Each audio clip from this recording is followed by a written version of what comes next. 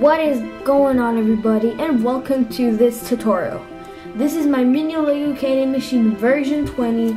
As you can see I already removed this sticker. You can easily just print it out on your computer or draw it. As you may saw my video you can use this thing as a keychain or not but well I think it is a little bit too big for a keychain but if you have a backpack or something you can just hang it on your backpack so the first thing will need is a 5x5 plate and put here, a 1x2 tile, and over here a 1x4 tile.